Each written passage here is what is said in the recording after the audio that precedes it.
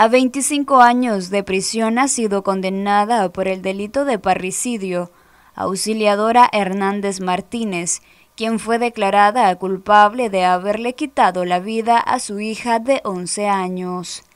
En la sentencia condenatoria dictada por la jueza de Distrito Penal de Juicio de Ciudad Sandino, Ana Cecilia Oviedo, se señala que Auxiliadora Hernández terminará de cumplir su condena el 6 de julio del año 2048.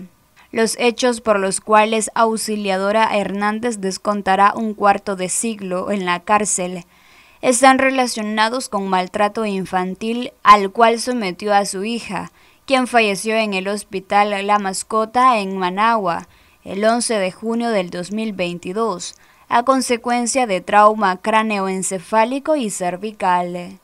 En la sentencia, la jueza Ana Cecilia Oviedo señala que la ahora condenada trataba de manera funesta a su menor hija, a sabiendas que estaba obligada a tratarlas como a una niña.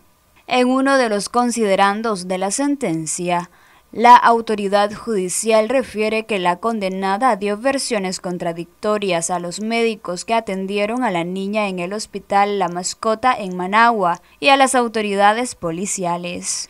Inicialmente dijo que la niña se ahogó en su vómito, después que se cayó de un sofá y por último, dormida, se dio vuelta en la cama y se golpeó en la pared, refirió la oficial encargada de las investigaciones del hecho.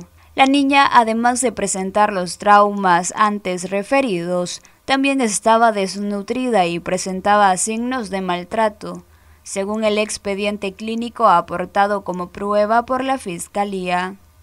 José Ángel Rubio Velázquez, papá de la niña, al brindar su testimonio ante la jueza Ana Cecilia Oviedo, inculpó a su expareja, acusándole de darle maltrato a la menor quien tenía parálisis cerebral. Ante el estrado pasaron a declarar vecinos de la pareja, quienes confirmaron que Auxiliadora Hernández daba maltrato a la niña.